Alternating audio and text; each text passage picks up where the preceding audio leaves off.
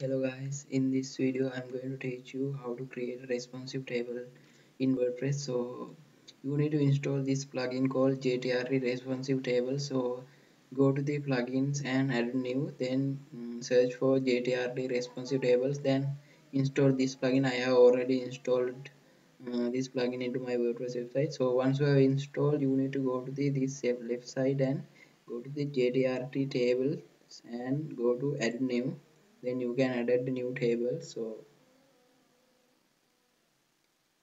Then name um, add a title to your um, table so i will call it table one so.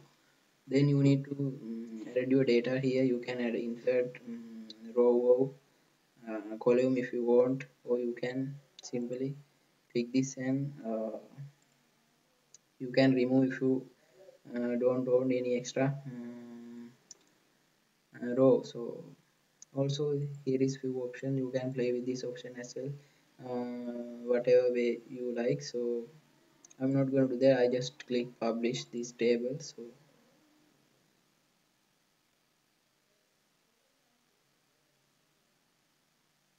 okay table publish. Then you need to copy this code. This is the short code to display your table um, the way the place you like. So I will display this table on the page so I will go to the page and add new.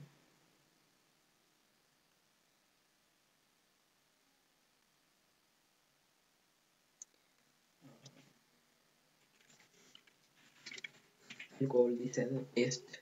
Oh man.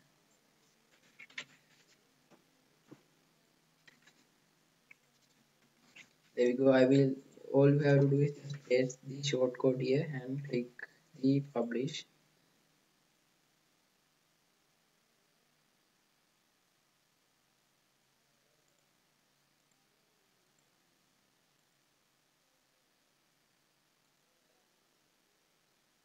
There we go guys. This is the table we have created so it's responsive. Hmm.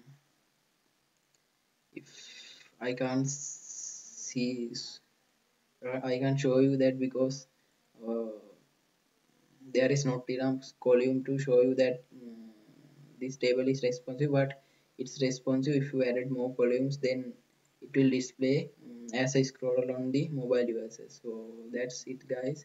Thank you very much for watching. If you like um, click the thumb, thumbs up and don't forget to subscribe to my channel as well. And thank you very much